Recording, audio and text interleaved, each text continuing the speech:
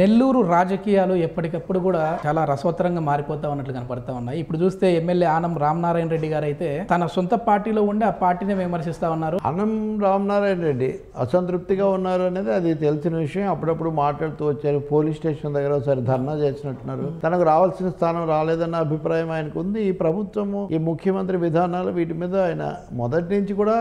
అయిష్టంగానే ఉన్నారు విముఖంగానే ఉన్నారు ఆయన ఈ రోజు అనడానికి ప్రాధాన్యత ఎందుకంటున్నా అంటే నిన్న ముఖ్య ముఖ్యమంత్రి ఆ నిధులు విడుదల చేస్తూ మనం చేసిన పనులే hmm. మనల్ని గెలిపిస్తాయి మన సంక్షేమ కార్యక్రమాలే మనల్ని గెలిపిస్తాయి సరిగ్గా బటన్ నొక్కితే అని అంటున్నప్పుడు ఆ పార్టీలో ఉన్న శాసనసభ్యుడు మాజీ సీనియర్ నాయకుడు ఏం చేసామని ఓట్లు పడతాయి అని ప్రశ్నించడం అంటే దాదాపుగా ఓన్లీ పెన్షన్లు ఇచ్చినంత మాత్రాన ఓట్లు అది కూడా మళ్ళీ అంటున్నారు మళ్ళీ పెన్షన్లనే రా సమస్య అది కదా గత ప్రభుత్వం కాబట్టి ఆయనకు ఉన్న అనుభవంలోనూ అధిష్టానంతో నాయకత్వంతో ఏర్పడిన దూరం దీనివల్ల బయటపడ్డారని చెప్పి అనుకోవాల్సి వస్తుంది మనము